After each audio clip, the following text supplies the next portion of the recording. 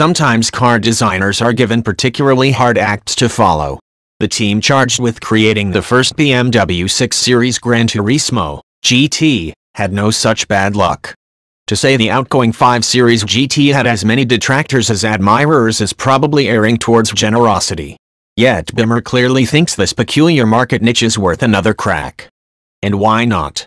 Between the X4 and X6, Gran Turismo and Gran Coupe models, BMW has sold 1.13 million units. Unusual body types plonked on existing architectures are an easy way to add buyers in pad budgets.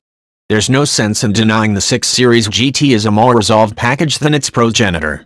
It's no timeless beauty, but it's certainly less stylistically awkward, with the G30 5 series sedan's sleeker nose, less slabby sides and a lower roofline for a sleeker side profile.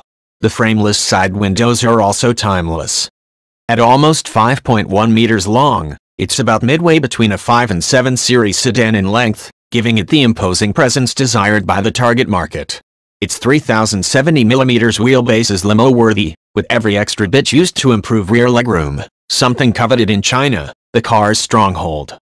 Tellingly, you can option the car's iDrive interface in Australia with simplified Chinese language software.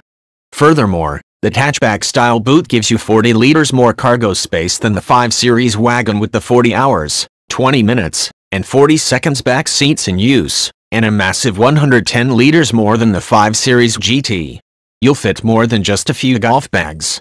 Hell, you could almost drive the electric car in. Price?